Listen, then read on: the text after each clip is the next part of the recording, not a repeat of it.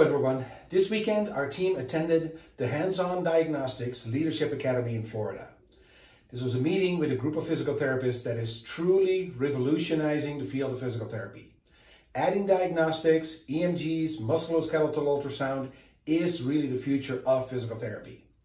As a physical therapist, knowing exactly what's wrong with the patient makes your treatment so much more effective, cost effective, treatment wise more effective, and as a patient, wouldn't you want to know what's truly wrong with you before you commit to a treatment plan, whether it is physical therapy or injections or surgery?